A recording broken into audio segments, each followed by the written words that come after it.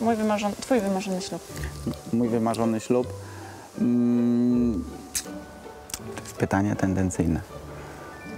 Na przykład, jakbyśmy jechali do ślubu, to mogłyby nas jakieś motory prowadzić, albo tiry. W Stanach są takie jak z Transformersów. Kojarzysz, jak wyglądał w Transformersach Megatron? No, no to taki trochę Megatron.